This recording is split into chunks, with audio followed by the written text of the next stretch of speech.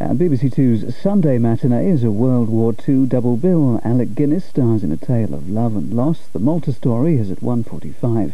And that's followed by Action and Adventure, Halls of Montezuma, 3.35.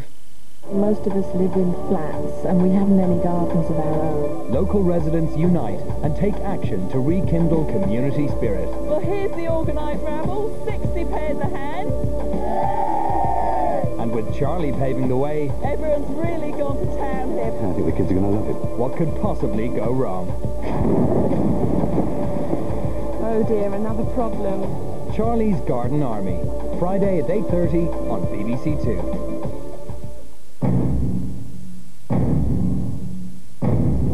Oh my God! This is George Mallory.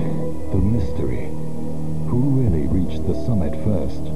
There were scenes going strongly to the top. They had good weather, they had oxygen. 75 years on, an expedition to uncover the truth. They were coming down. New evidence that could rewrite history. Lost on Everest, next Saturday at 9 on BBC Two. BBC Two has a tribute to John Lennon and music from Kool and the Gang. Top of the Pops 2 begins at 5 o'clock.